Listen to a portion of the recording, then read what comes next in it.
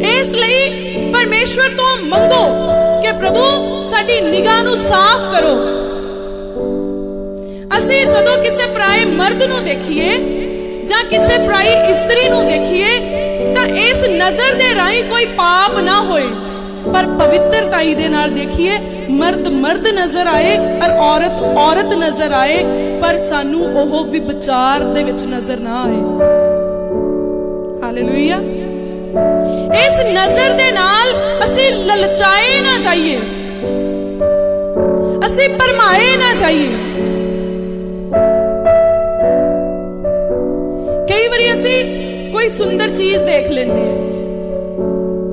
ਫਿਰ ਉਹ ਨਜ਼ਰ ਦੇ ਰਾਹੀਂ ਸਾਡੇ ਮਨ ਤੱਕ ਉਤਰ ਜਾਂਦੀ ਹੈ।